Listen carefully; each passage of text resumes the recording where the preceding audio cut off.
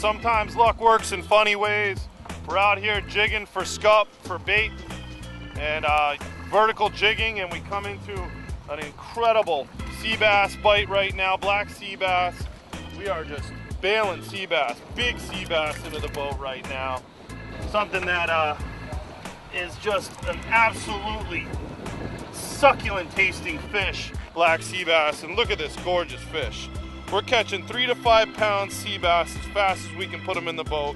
A lot of people fish sea bass with clams or worms on high-low rigs on the bottom. Most people don't know that vertical jigging for scup, sea bass is a fantastic way, effective way of catching these really tasty fish. Pretty sea bass. 12 inches is the limit here in Massachusetts. 20 fish per person per day. This one's well over the 12 inch limit. You're talking 14, 15 inches on that one. When you're vertical jigging, you can use anything, a deadly dick, a Kastmaster.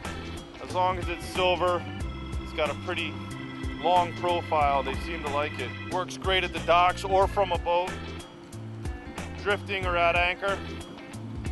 Try and keep it just off the bottom, giving it some nice short snaps.